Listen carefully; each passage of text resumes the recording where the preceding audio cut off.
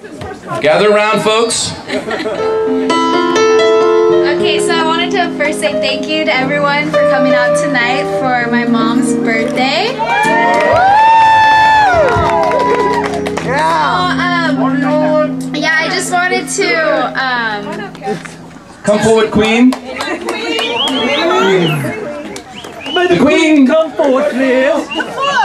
so, I, so I just wanted to. Um, just shed some light on who my mom is and what she means to me. And um, just over the years, you know, she's done a lot for my brother and sister and I. And um, I never really realized how much she um, sacrificed her time and her effort for us growing up. So now that I'm older, I can fully appreciate it.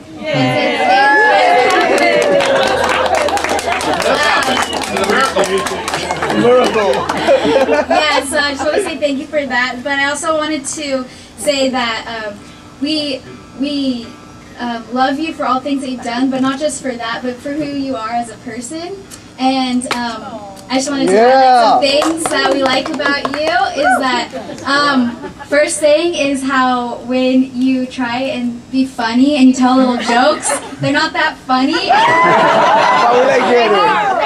How will Only you yeah, sure laugh- they are. only you laugh at them, Mom. So, but but when when you're not trying to be funny at all, you're hilarious. Like, for example, when we're in a in, in like a different country and we're driving on the other side of the road and she gets nervous, she's pretty funny. the things that she says, but um, and then also um, so other thing is that how much um, how much every time like you want us to make what you would consider the right choice but you still give us the grace to make our own choice even if it is wrong so that we can learn our lessons so thank you for that um, and for a little example of that would just be how much she wanted me to go to um, san luis obispo.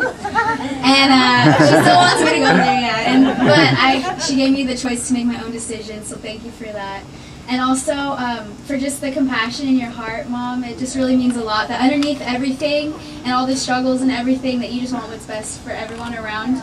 So um, just being really, just being close to you, we can see that. So thank you for that. I just want to say I love you and happy birthday.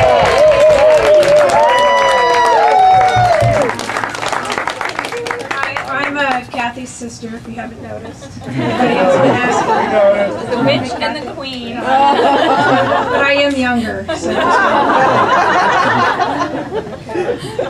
This is, uh, I was spending time on the computer not helping, so, as Kathy kept reminding me. But what I was looking up was a poem that I could, I could uh, read to her tonight, and this is what I found. It's called A Sister's Love. A sister's love is special in so many ways. Now sm- miles stretch between us and minutes turn to days. We've shared so much as children, the tears, the joy, the pain. A lifetime spent together, those memories remain. In times gone by, we pondered the paths our lives have taken, knowing that in spite of this, our sister's love unshaken. A sister's love is special in ways that are unspoken. Still that binding force exists, our sister love unbroken. Just want to say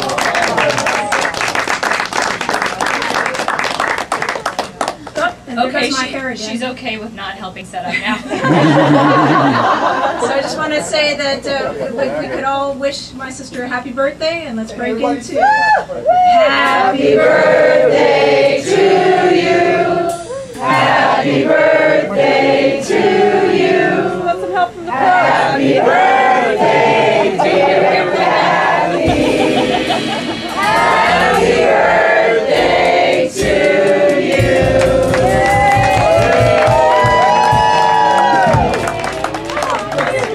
nice.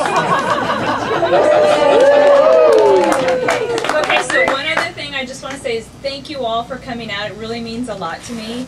And also, my daughter Bailey is in Spain right now and couldn't be with us, so I want everybody to give a toast to Bailey. She couldn't be here with us, so thank you, everybody. I don't have any other speech right now. Let's dance, right? All right, take your clothes off.